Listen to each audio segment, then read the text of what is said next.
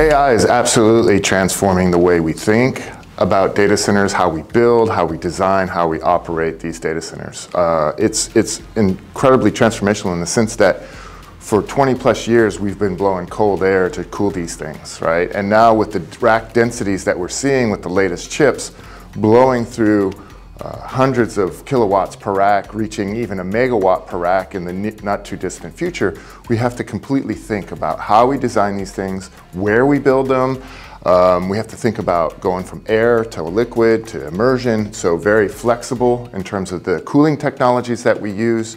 Um, and and it's, it requires close collaboration with the likes of the chip manufacturers, with our customers, the hyperscaler customers, the new emergent AI providers, and then of course partners like uh, Vertiv in terms of how we bring to market data centers to support the next generation of AI and high performance compute. The biggest takeaway that we've seen with the shift to AI is that the fundamental unit of compute has shifted from the chip to the entire data center.